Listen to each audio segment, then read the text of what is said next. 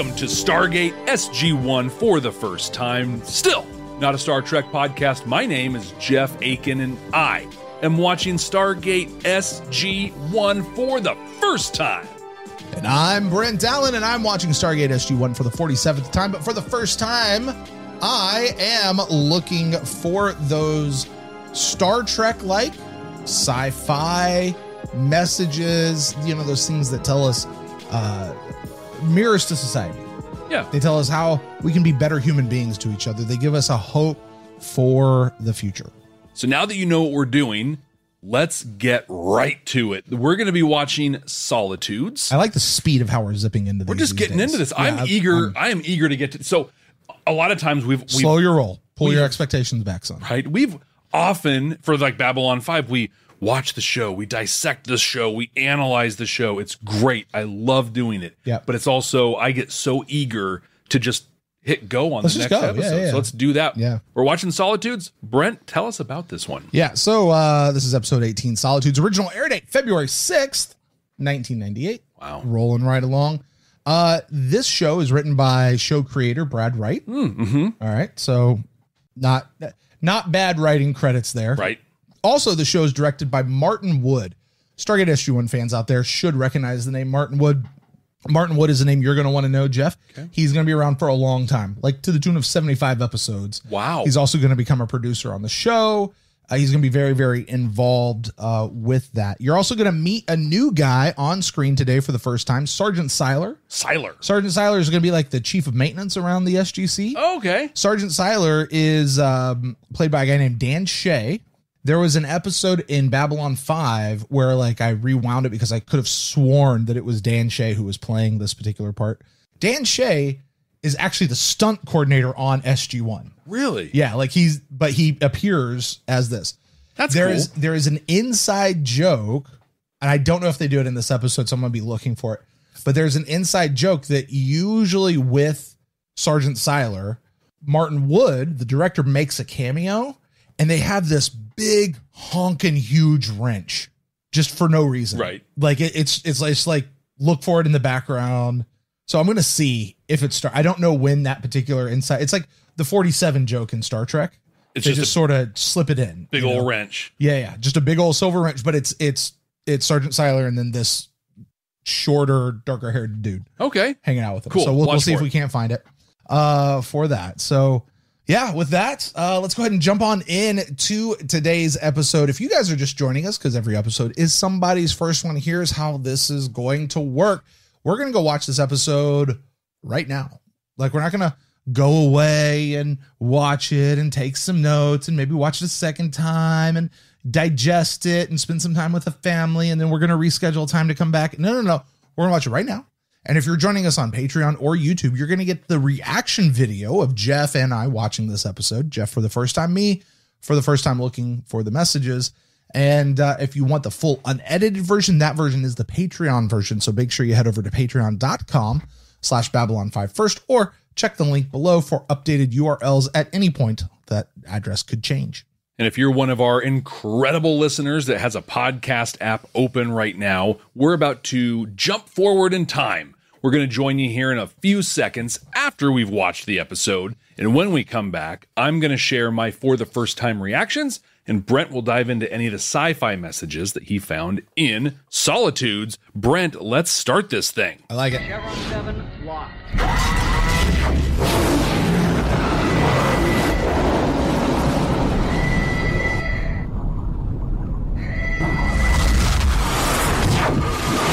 Have you ever taken the subway with friends and gotten off at your stop, but the rest of your crew didn't? Well, that's how this one starts. Daniel and Teal'c come busting through, but no Sam or Jack, and everybody's confused. Now, you'd think something awful happened to them, and you'd be kind of right. I mean, they're still alive, but they're stuck in some icy cave that's probably just a little south of the Fortress of Solitude which is really kind of good news. When you break a bone, one of the first things you can do is put it on ice. And Jack, well, Jack broke his leg and a rib. So at least they're getting iced or something. Of course, we know this, you and I know this, but the uh, but the crew at the SGC do not. They're investigating a surge of energy that happened when they gated through. Right now, they think all the staff blasts from the Jaffa they were running from might have caused the surge. Either way, Jack and Sam are likely somewhere between eh, here and eternity. So Hammond does what he has to do and officially declares them MIA. Daniel's not about to give up, though, and remembers that here is included in between here and eternity. He postulates that there might be a second Stargate on Earth, and the energy surge may have split them off to that one. Now that Jack and Sam are from the land of ice and snow, near the midnight sun with no hot springs to flow, they're doing their best to investigate the area. They find the DHD for the Stargate they came through and try phoning home, but no dice. Continuing to explore, Sam finds that there is nothing but frozen tundra as far as the eye can see. So, hmm, probably not Earth. Jack's starting to fade, and he has some pretty vulnerable and human moments with Sam. Back home, though, Daniel keeps working. He finds seismic activity at the exact moment of the stargating down in Antarctica. Having nothing to lose, they send a team down south, and lo and behold, there they are. SG 1 is reunited, Sam and Jack are safe, and turns out, Earth's got two stargates. Jeff, you've just watched uh, Solitudes for the first time. I would just like to point out I, I'm seeing your notes. I I'm not reading them right now, but just you had significantly more notes for the episode Singularity Mhm. than you do for this episode Solitudes. Yeah. So take us through it. What is your first time reaction to Solitudes? I would love to say that I have less notes here because I've become so much more efficient at my note taking. Yes. The reality is, I have very few notes because nothing happened in this episode. This episode tried so hard Mhm. to build tension and high drama. Right? Jack, Jack is broken. He's bleeding internally. He's gonna die. Mm-hmm. There's their save. Their, the thing to save them is right there. There's the DHD. There's the Stargate. Sam can't figure it out. Oh my gosh, what's gonna happen? You got Daniel trying to solve the mystery with just breadcrumbs of information at this point. But at no point was I ever actually worried that anything bad was going to happen. How could you be when you know that they're on the DVD cover? Exactly. Yeah. And I don't know if it's just a product of knowing that this series goes on for so many more seasons. I don't know Yeah. what it would have been like watching it for the first time, but I think a lot of sci-fi, you know, Voyager did this, Enterprise did this a bunch. Yeah. Uh, where it's like, hey, they're in so the main people are in so much danger. What's going to happen? What's going to happen? Nothing's going to happen. Well, it's how they get out of it. And that, yeah. And I think the mystery in this one was interesting. And I thought that here's the positive in the whole thing. And we hit it just near the end. Literally, you're like, hey, what are your theories? And I'm like, well, this Stargate, that's the thing. Like, it's doing something with the energy and some weird thing. And then Sam starts executing plan B where she's going to climb out. And I was like, what if there's just another Stargate on Earth? And they're on Earth. We never, there's no rule that there can only be one. And then, like 14 seconds later, Daniel was like, there's another Stargate on Earth. Right, right. and they start looking. Turns out they're on in in, uh, in our in. Turns out they're in Antarctica. yeah. So I mean, it was cool. Like the writing was excellent. It took you right along at the exact moment. The timing was really good. The character stuff between Jack and Sam was heartfelt. Mm-hmm. A lot of high high points for Jack, just cracking wise to the very end, really showing his leadership skills in a in a really big way. But maybe I don't know. Like I want to I want to say what my favorite thing was. It's either the timing of the mystery or the fact that it took her over twelve hours to realize she just needed to turn the thing off and on again. Yeah, I, I wish I had more to say on this one. I mean, it was a it was a, a high drama. Tried to be a high drama episode. There was uh, not character development, but character bonding Yeah, yeah. that kind of occurred. We got a little more insight into the relationship with Jack and his ex wife Sarah, which was really was which was cool. I Mm. said in there too that that I'm really fascinated by their relationship Mm. between Cold Lazarus and this. Like both of them obviously really care about each other still Yeah. that doesn't necessarily mean they're going to be a good, you know, married couple Or that they could get back together or, or anything like Yeah, that. yeah. So I, I, I'm I'm excited to see just how that relationship develops for us, and we get to kind of see more of it. But I would just say don't hold your breath on that one. oh, Sorry, Yeah. not, not to pour water on that one, but uh, Yeah, that's fair because I, I, I would have been holding out for it Yeah. because I think it's an interesting concept yeah, that TV doesn't take into too often. I think TV most often either completely dismisses any tension between a separated couple or they hate each other. Mm. But to have one where it's like actually like, hey, we still really care about each other Yeah. and we're still going to continue some form of a relationship would be really interesting. Mm. But probably not what's going to happen here is what I'm hearing. Yeah, I mean, I, I'm sure some people are upset. Those are my first time reactions, but um, I'm nervous about getting to the ranking. But my initial, just right talking through it right now, reaction was, "Hey, it was a fine episode. I don't think it achieved exactly what it was trying to." What about you? Did you get any sci-fi messages out of this one? you know, um, n- nothing that I think the episode was trying to tell us. Yeah. Like this was, uh, I'm I'm going to push back on you. I think this was a high drama episode. Yeah. I think we can agree or disagree on whether or not it it successfully achieved that high drama, but I do think it was a high drama. I think uh, there is a lot of, I think we see a lot more of the personal growth between Jack and Sam. Mm-hmm. I think we see once again uh, a furthering of exactly how much the four members of SG1 mean to each other. Yeah. Uh, we saw that back in Fire and Water when we thought that Daniel was dead, and the three were just like freaking out over the whole thing. The mystery of I love the mystery of it. Like when you said I don't know what I love more, it's it's the mystery. It's Yeah. the what is going on, what is going on. They unveiled just enough at just the right time in just the right way. In the right, I mean, I think the writing was fantastic in this. Brad Wright did a phenomenal job, and uh, it, as you understood the truth in the exact moment you were supposed to catch it. right. That's pretty and I think you did so good with that. Uh, I was really happy to see you catch that. Like I didn't feel slighted at all. Um, I'm just really glad that you caught that uh, at the, at the right time. Like, If you would have said it earlier on, like, oh, they're in Antarctica. Oh my gosh! Like you still were like, oh, they're in the North Pole, and no, actually they're on the other side. Right. But as far as chevrons, I mean, you could pull stuff out. You always got to maintain hope. As long as you Mm-hmm. have hope, you can survive. Uh, never give up. You- That's not the point of this show. This was, uh, I think, furthering an idea. There's more than one Stargate. Yeah. And again, the Goa'uld did not build the Stargate system. And there's more going on than what we have ever, ever thought possible before. And yeah, now there's a second Stargate on Earth where the apparently the uh the seventh chevron is not one that we have ever seen before. Also, what you realize, and I would think that a, a culture is advanced that can build the Stargate system, there would be a specific spot on every DHD, which is the seventh chevron. Right. Yeah. Not, oh, look for the one that you haven't seen before. That and try to figure it out. Like, Yeah. it, nope, this is it right here, and then find the rest of them. But apparently they didn't do that, so whatever. Uh, zero chevrons for me, unfortunately.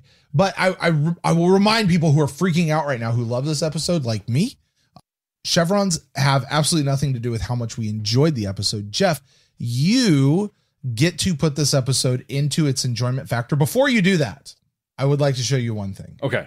It is, uh, you know, shows have outtakes Yeah. shows have special features on the DVD. I would like to show you what is potentially Brent's personal favorite outtake almost anywhere of any show ever. Wow. And Okay. it's from this episode. okay. So we're going to take a moment to watch that. And uh, hopefully the audio podcast at least gets to listen to this the entire way through. So just to set the scene, they're on top of the DHD trying to dig it out. Okay. That's where they are, right? This is She's when got the ice like- pick. Mhm. Yeah, yeah, yeah, yeah. All right. And uh, the voice you are about to hear is the director, Martin Wood. I remember the biggest one that I set up was the very first show I directed, where we were chipping away at the ice. In one of O'Neill's lines is, I don't know what to do. And she just looks at him and goes, We spent seven years on MacGyver and you can't figure this one out? we, we got belt buckles and shoelaces and a piece of gum. Build a nuclear reactor for crying out loud. You used to be MacGyver, McGadget, McGimmick. Now you're Mr. McUseless. Dear God. Stuck on a glacier with MacGyver. She spent real time figuring that one. I Oh, keep- yeah, yeah. that's awesome. Yeah, and in fact, that was set up by the director to do that. Like that's that's good stuff. Uh, Jeff, so the question comes to you. How much did you enjoy the episode? Uh, you have often surprised me with your rankings. I have a feeling you may surprise me again. Our top five currently on the SG1, season one, 100% completely accurate. First time watchers ranking is number one is Torment of Tantalus. Two is The Nox. Three correctly is Endgame. Enigma. Uh, uh, thank you. Yeah. Then I'm I'm looking far away. Don't have my glasses on. Uh, four is Cold Lazarus. Five is Cor-ai. Uh, and then we got Brief Candle, Bloodlines, Broca Divide, Children of God, Thor's Hammer, Singularity. Jeff, where do you place uh, this one? Solitudes. it's very clear to me what you think of this episode. Uh, I imagine a lot of the community probably feels close to the same. yes. I'm going to say that I'm going to I'm going to invoke a name that many people here listening have heard a couple times, and that is Matt Yes. from the Beam Me Up podcast. Right, great Yes. podcast. yes. Actually, I mean, I hear that's a good show. for real. I've Like, never listened, but I hear it's a great show. never listened, but you only did it. Beam me all. up a Star Trek podcast. Yeah. Which seriously, the most unique way anyone has done a watch through the whole gamut of up to, you know, 90s 90s Trek. Check it out. Brent's co-host, Matt, Link down below in the show notes if we remember. yeah. But he literally all but crapped on the sacred cows of Star Trek. City on the Edge of Forever. Yep. Duet. Yep. The Visitor. Yep. Right. These just hallmark episodes. He's like, eh. Yeah. I didn't get it. And you and I have talked about this a lot where we have the benefit of having watched all of Star Trek. Yeah. Just the other day, we were talking about City on the Edge of Forever. And the reason that's such a great episode now, honestly, it isn't. But the when, when The knives are coming I out, know. Jeff. It just it, it doesn't hold up. It doesn't hold up. Yeah. Go watch it. It doesn't. Yeah. But what saves it is we know what Kirk, Spock, and McCoy become. And to see them in this point, it's amazing. It's awesome. Yeah. In the time, and you don't know stuff, it's like, yeah, I don't know.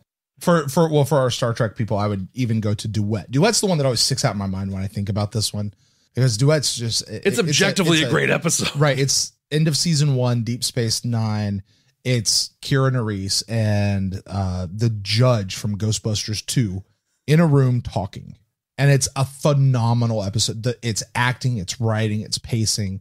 That episode, I think, only truly works when you're thinking of season seven Kira Yeah. Nerys, not season one Kira Nerys. And when Matt met met Kira and watched that episode, he only knew of season one Kira Nerys. I think you and I, Jeff, are experiencing similar things with Babylon 5, Mm. particularly in the earlier seasons, season one, season two, even a little bit of season three. People are thinking season five, Yeah.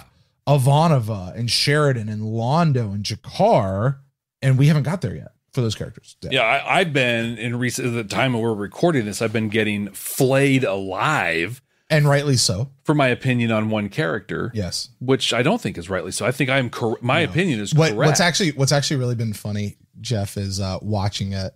Uh, so many people just, as you say, flaying you alive, and then like within a couple of episodes, they're like, "Actually, I kind of agree. right?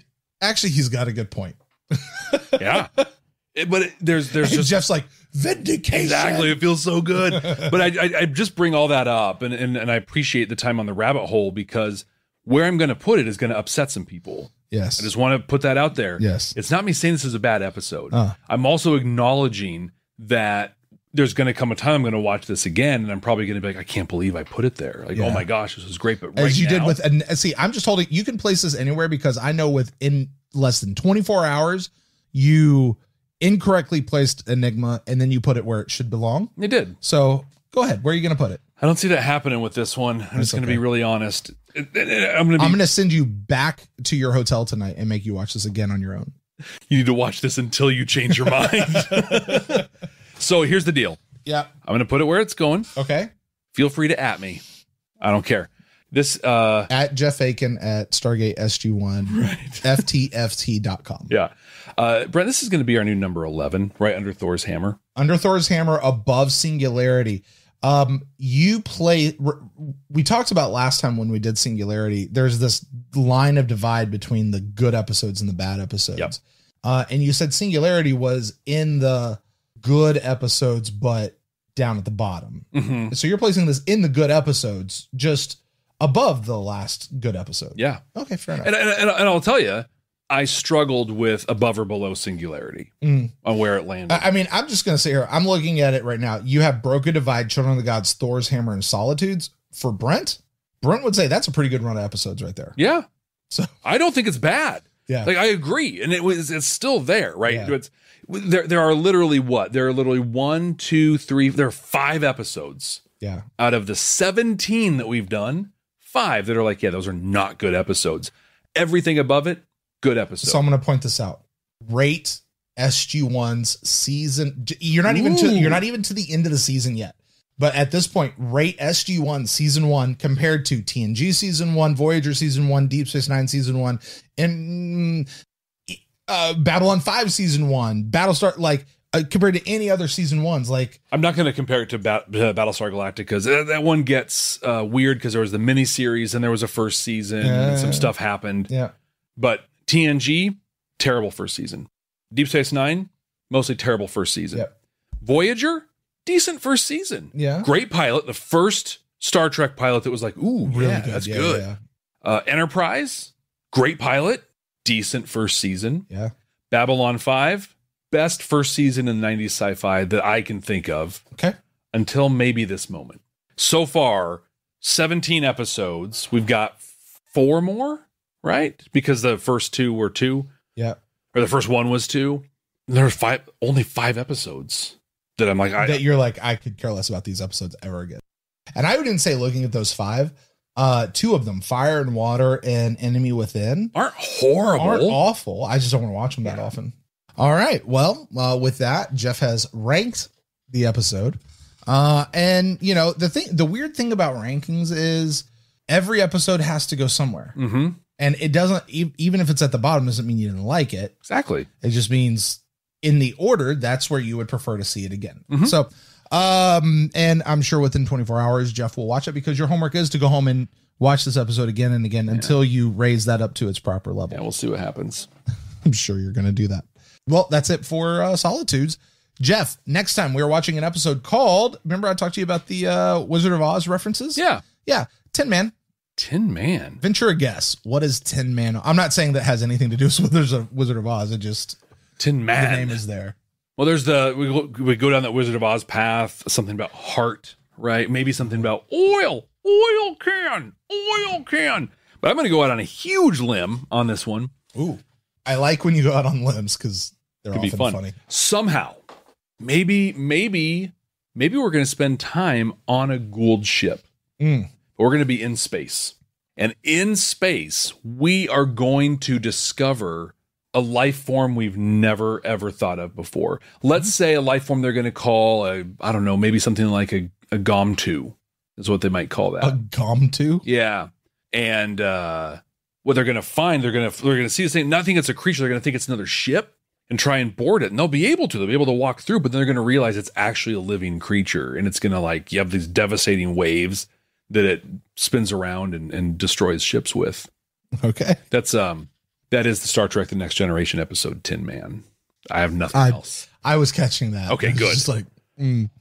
uh, well, we will see. Uh, it has nothing to do with that. Uh, we'll see right here next time on SG1 for the first time. Thank you guys so much for joining us and hanging out with us. Whether you're uh, doing the rewatch with us, doing the the the reaction video, um, or just listening to us on the podcast, you guys are amazing. You're awesome. Hey, wherever you are, please like, subscribe, share with a friend who needs to know all about Stargate SG1. Join Jeff on his first watch or join me as we do the deep dive into actually looking for the messages that Stargate is trying to tell. I think we've come up with some really we're we're seeing that Stargate is beyond just telling a good story is actually trying to say something Yeah. as well, which I I very much appreciate uh, for that, especially you know from us hoity-toity Star Trek guys For real. who just lord it over of what makes Star Trek so well. We're a morality play, uh, but we also do some good sci-fi. So Right. I think it's what we're finding here with Stargate SG1. Uh, thank you guys so much. Uh, really appreciate you guys. We will see you next time. And until then, my name's Brian Whoa! Sorry about that. It's cool. It's cool. That was just my sidearm. I swear. I swear. Oh, for crying out loud.